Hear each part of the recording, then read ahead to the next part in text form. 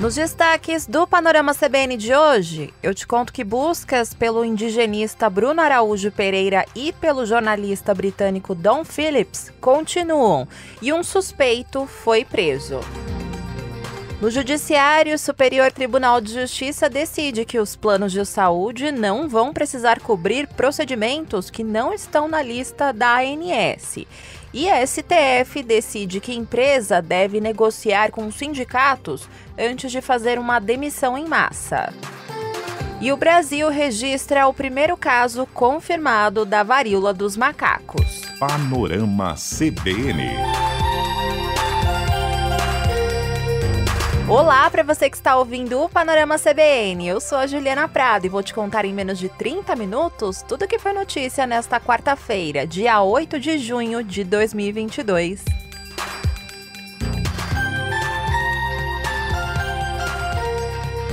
Eu abro essa edição mais uma vez para contar para você que o indigenista Bruno Araújo e o jornalista britânico Don Phillips continuam desaparecidos. E hoje, seis pessoas foram ouvidas pela Polícia Civil do Amazonas. Cinco deram um depoimento na condição de testemunha e um homem foi preso e falou na condição de suspeito. Esse homem foi preso em flagrante por intimidar equipes de buscas e ele é conhecido por sucessivas ameaças a indígenas da região. A polícia também apreendeu um armamento de uso restritivo na casa de Amarildo da Costa de Oliveira. Segundo o jornal o Globo, testemunhas relataram aos policiais que a embarcação do suspeito, que foi apreendida hoje e trazida com ele até a cidade, passou em alta velocidade atrás de Bruno Pereira e Dom Phillips quando eles deixaram a comunidade São Rafael, em uma visita que estava previamente agendada para que o indigenista fizesse uma reunião com um líder comunitário apelidado de Churrasco, que é tio de Amarildo. Esse encontro tinha como objetivo consolidar trabalhos conjuntos entre ribeirinhos e indígenas na vigilância do território, que é bastante afetado pelas intensas invasões. E Churrasco foi detido na segunda-feira à noite para prestar esclarecimentos como testemunha e em seguida ele foi liberado. E Amarildo da Costa de Oliveira está preso e negou qualquer relação com o sumiço dos dois. Em outra frente desse caso, como as buscas estão lentas, a Justiça Federal precisou determinar que o governo garanta reforços nas buscas dos dois que desapareceram no domingo durante uma viagem por terras indígenas na Amazônia. De acordo com a medida, o governo deve viabilizar o uso de helicópteros, embarcações e equipes de busca, seja na Polícia Federal, nas forças de segurança ou nas Forças Armadas.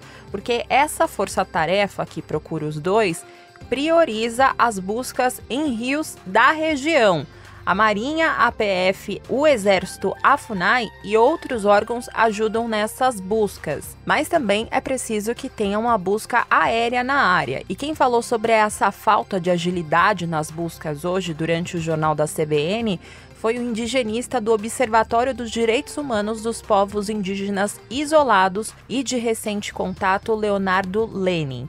Ele disse que o governo federal mente ao falar sobre uma grande operação de buscas pelo indigenista e pelo jornalista inglês. Ele falou sobre o baixo contingente enviado e também a falta de estrutura para garantir a maior efetividade nos trabalhos. Somente ontem, um contingente de 11 pessoas do Exército chegaram na região. Uma aeronave que está sendo solicitada desde de segunda-feira, que inclusive representantes do governo falaram que, que está sendo usada na busca, é mentira também. Essa aeronave nunca chegou. O efetivo da Marinha até ontem era de 5, 7 pessoas. O contingente da Polícia Federal na região era de duas pessoas. Leonardo Lenin também cobrou uma investigação mais aprofundada sobre as constantes ameaças sofridas por equipes da União das Organizações Indígenas do Vale do Javari. Segundo ele, forças políticas e econômicas tentam acobertar esses casos. Essa tomada de depoimentos que estão sendo feitas, né, precisava de uma, de uma efetividade maior, inclusive a gente fala até da necessidade de federalização dessas investigações, uma vez que já está havendo interferência direta né, de, de políticos e forças econômicas locais, tentando inclusive é, acobertar esses suspeitos. Bom, voltando na decisão da Justiça, a juíza federal Jaisa Maria Pinto Frache disse que a terra indígena Vale do Javari está em baixa proteção e fiscalização do Estado e que há por parte da União uma omissão do dever de fiscalizar as terras indígenas e de proteger os povos indígenas isolados e de recente contato. Para você ter uma ideia, o Vale do Javari é a região com a maior concentração de povos indígenas isolados do mundo. E o desaparecimento do indigenista e do jornalista foi alertado pela União dos Povos Indígenas do Vale do Javari na segunda-feira.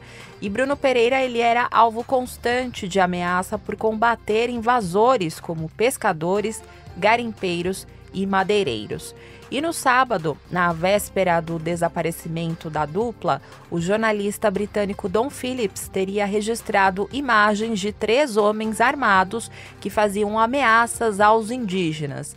Isso segundo dois membros da Unijava. Uma dessas pessoas que ameaçaram um grupo seria um dos suspeitos ouvidos pela polícia. E como você está acompanhando aqui há alguns dias, tanto Bruno Pereira como Dom Phillips conhecem muito bem a Amazônia. O jornalista, que é colaborador do jornal The Guardian, esteve no Acre há cerca de um mês na aldeia dos Axanincas, em Marechal Tramaturgo, no interior do estado. E um vídeo que foi divulgado hoje pela Associação Axaninca do Rio Amônia mostra o jornalista falando do projeto do livro que ele está fazendo. Aí eu pedi para ver para cá, para entender como vocês lidam com isso aqui, é, como vocês se organizam, como é todo esse processo. Ele falou dessa reunião, então eu vim para acompanhar um pouco disso, aprender um pouco com vocês, como é essa cultura, como é vocês veem a floresta, como vocês vivem por dentro, como vocês lidam com essas ameaças que, é, que vêm, de invasores, garimpeiros e tudo mais. E agora uh, eu estou fazendo um livro para uma editora inglesa sobre essa questão da conservação na Amazônia. E andando muito na Amazônia, conversando com pessoas, e uma parte muito importante desse livro é a proteção dos povos indígenas, o protagonismo Durante a programação da CBN, a nossa comentarista aqui da rádio e também do jornal Globo, Miriam Leitão, que está cobrindo muito bem esse caso, como sempre, falou sobre esse assunto. Mas a informação que eu tenho junto às lideranças indígenas é que a, a Polícia Federal a, e, e, os, tanto a, e o Exército, mais até do que a Marinha, a Marinha está um pouco mais presente, mas eles estão atuando de forma muito. Eles não estão se jogando na, na, nessa busca, eles não estão se mobilizando por essa busca. Inclusive, hoje de manhã estavam procurando as forças do Exército, forças federais, estavam procurando um lugar onde não, não ia encontrar nenhum indício mesmo. Por quê? Não é um crime federal ainda. Então, na verdade, eles também ficam na dúvida. É preciso que o governo pense na federalização desse crime. É um crime federal. Precisa ser olhado dessa forma para que haja mais mobilização da Polícia Federal, das Forças Armadas, na descoberta é, de, do paradeiro do Dom Phillips e o Bruno Araújo Pereira, que é um, é um importante quadro do Serviço Público Brasileiro. Ele estava afastado exatamente por falta de capacidade de trabalhar atualmente na FUNAI. Outro assunto que ainda está no noticiário é aquela história dos preços dos combustíveis. E hoje, o presidente do Senado, Rodrigo Pacheco, fez mais uma rodada de negociações com os governadores em busca de uma solução aí para o projeto de lei que limita o ICMS de combustíveis, energia e comunicação a um teto de 17%. O objetivo principal dessa medida é frear o preço dos combustíveis. Só que o problema é que os governadores estimam uma perda de arrecadação de cerca de 100 bilhões de reais por ano se esse projeto for aprovado da maneira como veio da Câmara. E agora esse projeto está no Senado e até por isso que desde ontem as negociações se intensificaram em busca de uma compensação para os estados. Até porque o ICMS é o principal tributo dos estados e o desfalque no caixa pode inviabilizar serviços em outras áreas, como educação, segurança e saúde. E hoje, nas negociações da manhã, o governador de São Paulo, Rodrigo Garcia, sugeriu uma nova possibilidade para compensar a perda de arrecadação dos estados. Ele defendeu o seguinte: a suspensão do pagamento das parcelas da dívida do Estado com a União, isso como forma de reduzir o impacto no caixa dos estados. No caso de São Paulo, especificamente, Garcia diz que zera as alíquotas sobre diesel, etanol e gás de cozinha e também reduz a da gasolina se essa suspensão for de dois anos. E essa ideia aí de Rodrigo Garcia também serve para outros 22 estados que também poderiam ser atendidos dessa forma, com essa suspensão do pagamento da dívida. E Rodrigo Garcia disse que essa medida ela foi bem aceita no grupo, mas as conversas permanecem. Por quê? Isso vai para o estoque da dívida. Isso é a melhor forma de você manter a responsabilidade fiscal brasileira. Quando você suspende o pagamento e joga para o estoque, qualquer investidor vai olhar os indicadores nacionais e, e, dizer o Brasil respeita a boa gestão fiscal. Se você perdoar, nós não estamos caminhando por aí. Então, São Paulo não vai flertar com o populismo fiscal. Nós estamos dizendo que a suspensão do pagamento da dívida é o melhor instrumento para que você não tenha alteração de indicadores no Brasil e, consequentemente, não desarrume mais a economia brasileira. Agora, em relação aos demais estados que não possuem dívidas com a União, a proposta é usar os lucros da Petrobras para compensar esses estados, permitindo assim a redução do ICMS sobre os combustíveis. E quem explicou isso foi o Décio Padilha, presidente do Comitê Nacional dos Secretários de Fazenda dos Estados. É melhor um acordo, um acordo que os estados tenham que ter um sacrifício, mas que também não dá para a União está só reduzindo PIS, COFINS e CID de tributação. Todos aqui sabem que a União não vive da tributação de combustível. É 0, alguma coisa da arrecadação dela. Para os estados, combustível é 20% da arrecadação. Ninguém aqui está propondo intervenção na Petrobras, mudar a forma da Petrobras ser organizada. O que a gente está colocando aqui apenas que esse destino de dividendos ele precisa ter um destino em guerra mais nobre e não está amortizando, reduzindo dívida pública como é no Estatuto do Pagamento de Dividendos da Petrobras. Não tem sentido isso. As negociações continuam e a expectativa agora é pela apresentação do parecer do relator desse texto no Senado, Fernando Bezerra. E eu tenho certeza que o Gabriel Freitas vai te contar na edição da manhã do Panorama CBN todos os detalhes. No Judiciário, o Superior Tribunal de Justiça formou maioria para manter a taxatividade da cobertura das operadoras dos planos de saúde.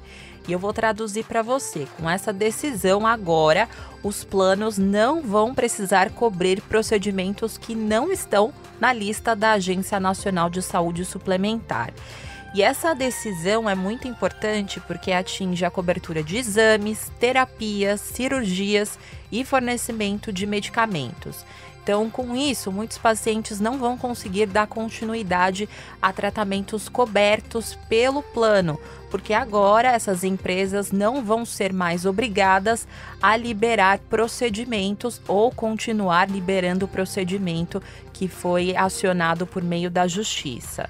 E para você entender melhor esse assunto, a cobertura taxativa entende que o que não está nesta lista preliminar da ANS não precisa ter cobertura das operadoras, o que leva a uma limitação de muitos procedimentos que acabam sendo autorizados quando o paciente entra na justiça, por exemplo. E hoje a maior parte do judiciário, quando vem uma ação desse tipo, entende que a lista da ANS é exemplificativa e que os planos de saúde devem cobrir outros tratamentos que não estão nesse rol, nessa lista, mas que tenham sido prescritos pelo médico e que tenham uma justificativa e que não sejam experimentais. Mas agora, como eu falei para você, o entendimento geral do STJ é que os planos só precisam cobrir o que está na lista da ANS. E ainda falando de judiciário, o Supremo Tribunal Federal decidiu hoje, por seis votos a três, que é obrigatória a intervenção prévia dos sindicatos para que uma empresa faça a demissão em massa de trabalhadores. Então, nesse caso, é preciso que a empresa tente negociar primeiro com o sindicato antes de demitir todo mundo. E esse recurso que foi analisado pelo STF foi apresentado pela Embraer e sindicatos contra uma decisão do Tribunal Superior do Trabalho que exigiu a negociação no caso da demissão de mais de 4 mil trabalhadores da empresa em 2009. Segundo a decisão de hoje do STF, a intervenção é imprescindível mas não se confunde com a autorização do sindicato para a realização das demissões, ou seja, ou seja, a empresa não precisa pedir autorização do sindicato para demitir as pessoas, mas precisa tentar negociar ou fazer uma comunicação prévia para o sindicato.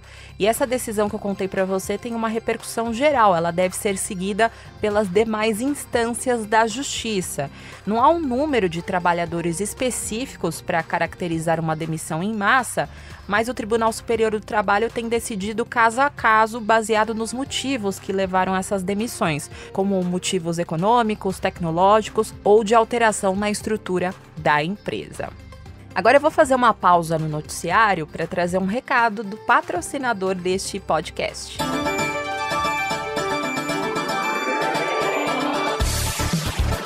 A BVA7 é a gestora de recursos de terceiros do Banco BV e, segundo o ranking da Associação Brasileira das Entidades dos Mercados Financeiros e de Capitais, a Ambima, a BVA7 está em destaque entre as maiores gestoras de recursos de terceiros em patrimônio gerido, atuando junto a investidores de diversos segmentos, entre os quais private banking, corporate, investidores institucionais e principais plataformas de investimentos. A BVA7 é signatária do PRI, que é uma das maiores iniciativas de investimento responsável no mundo e apoiada pela ONU e conta com uma equipe especializada com vasta experiência no mercado financeiro. Para saber mais, siga a BVA7 no LinkedIn, BVA7 ou acesse o site bv.com.br barra A7 com dois S e temudo no final.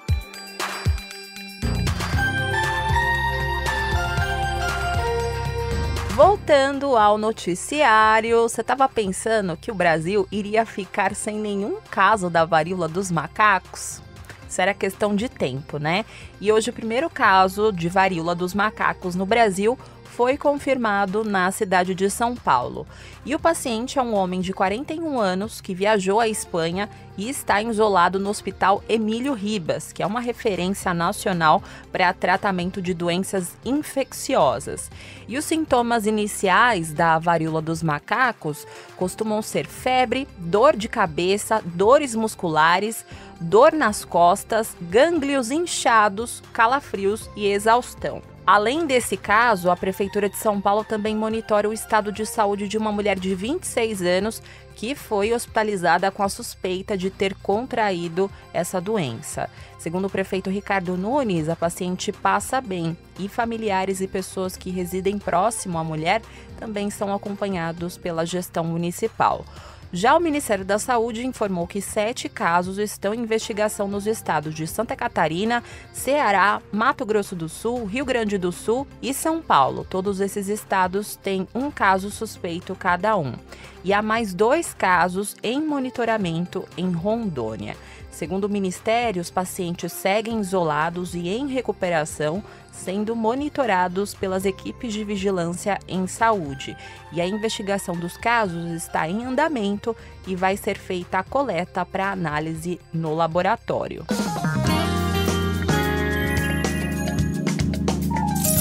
No mercado financeiro, a Bolsa de Valores de São Paulo encerrou o dia de hoje em baixa de 1,52% aos 108.397 pontos. No mercado de câmbio, o dólar comercial fechou o dia em alta de 0,33% aos R$ 4,890.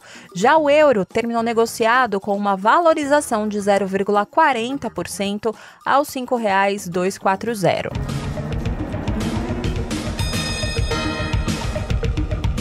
No cenário internacional, eu trago notícias da Alemanha, porque um carro invadiu uma rua cheia de pedestres em Berlim na manhã de hoje, matando uma pessoa e ferindo pelo menos outras 30. E parte dos feridos são crianças de uma escola que faziam um passeio escolar.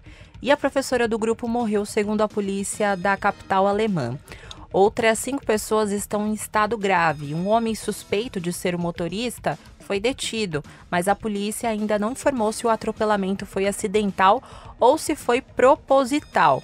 E esse incidente, coincidência ou não, aconteceu perto do mercado onde, em 2016, um caminhão invadiu uma feira de Natal que acontecia na rua, matando 12 pessoas. Esse ataque foi cometido por um tunisiano que, depois de ter tido um pedido de asilo na Alemanha negado, sequestrou um caminhão, matou o motorista e jogou o veículo no mercado lotado.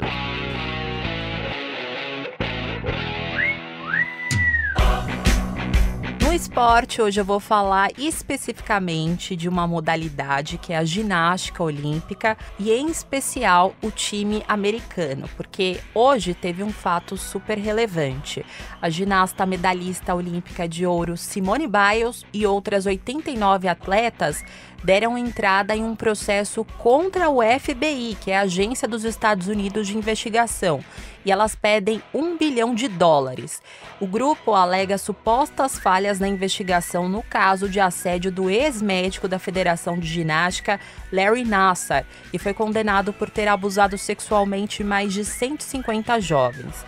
O time enfatiza que os agentes do FBI tinham conhecimento em 2015 de que sobre Larry Nassar recaía a acusação de estupro, mas que nenhuma medida foi tomada na época, e com isso ele teria dado seguimento aos assédios por mais um ano. No total, Larry atuou como médico da Federação de Ginástica dos Estados Unidos por quase 30 anos e o Departamento de Justiça declarou em maio deste ano que não faria acusações criminais contra os agentes do FBI por eles não terem aberto uma investigação com tanta agilidade.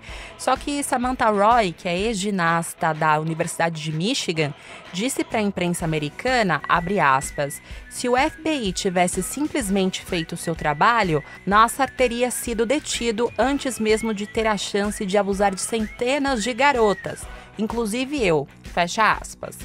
O ex-médico recebeu uma pena de 40 a 175 anos em fevereiro de 2018, mas ele já cumpria 60 anos de prisão pela posse de materiais de pornografia infantil, caso que ele foi julgado em dezembro de 2017. E em dezembro do ano passado, depois de cinco anos de disputas judiciais, as vítimas do ex-médico Larry Nassar chegaram a acordo no valor de 380 milhões de dólares com a Federação Americana de Ginástica, o Comitê Olímpico e Paralímpico dos Estados Unidos e seguradoras. E dentre as pessoas que receberam esse benefício estavam nomes como a medalhista olímpica Simone Biles, Ellie Raisman e Michaela Maroney. E as entidades foram responsabilizadas em uma decisão judicial por falharem na proteção das atletas. Vendo essa notícia, eu lembrei de um documentário que eu vou fazer essa indicação para você, que é muito interessante, que fala bastante sobre como surgiram essas denúncias por meio da imprensa, como a própria Federação Americana de Ginástica ignorou esse caso e o quanto isso afetou a vida das ginastas. E o nome desse documentário se chama Atleta A e está disponível na Netflix. Então fica a dica aí para você.